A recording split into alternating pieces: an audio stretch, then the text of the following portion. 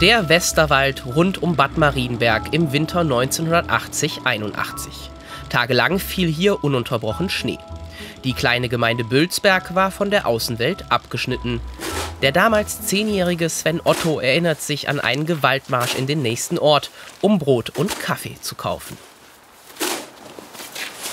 Wir sind dann irgendwann um die Mittagszeit losgewackelt über die Hauptstraße durch Wind und Schnee und sind dann irgendwann beim Bäcker in Unau angelangt, wollten da uns Kaffeebohnen mahlen lassen und auf einmal war der Strom weg.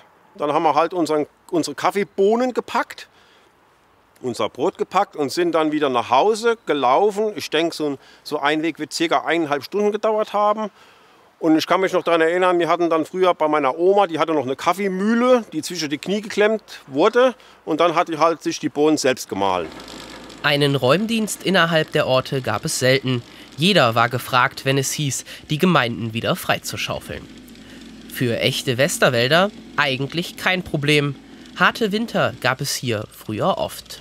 Doch 1981 meinte es Petrus etwas zu gut mit dem Winter Wonderland, erzählt Doris Pfeiffer. Wir hatten hier eine Schneemauer, also die war mal mindestens, ach, gleich so schaufelt hier. Wie früher hat man ja Speck gehabt, ja, dann hatten wir den Schlittenkufen unten, dann mit Speckschwaden oder auch hier die Ski hatten die Kinder, ja. Dann sind die ja hier in der Wiese, waren Schneehüppel hier runter, also Kinder waren glücklich, muss ich ehrlich sagen. Ein Kamerateam des Südwestfunk kämpfte sich damals durch den Westerwald, um in den zugeschneiten Orten zu filmen. Zusammen mit Tochter Ramona geht Helga Pfeiffer auf eine Reise in die Vergangenheit. Boah, wie krass. Gott, guck mal da, wie hoch der Schnee da lag. Das hätte Markus sein können, ne? Ja, der war doch bestimmt nicht im Schnee. Der ist so untergegangen da. Da ja. war der vier. Ja, habe ich ja gesagt. Den hättest du nie wieder gefunden. Ja, ich habe ja gesagt, er konnte gerade so über diese Schneemauer hier vor ja, der Tür. So. Den hättest du nicht wieder gefunden. Mhm. Inzwischen fallen die Winter nicht mehr ganz so hart aus. Der Klimawandel scheint Wetter und Natur im Westerwald bereits nachhaltig verändert zu haben. Rodeln mitten im Dorf schon lange nicht mehr möglich. Sven Otto findet das schade.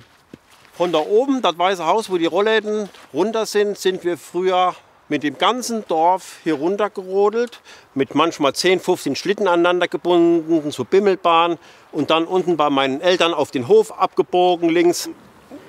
Der Klimawandel und der viele Regen, der Schnee ist einen Tag da und am nächsten Tag schon fast wieder komplett weg.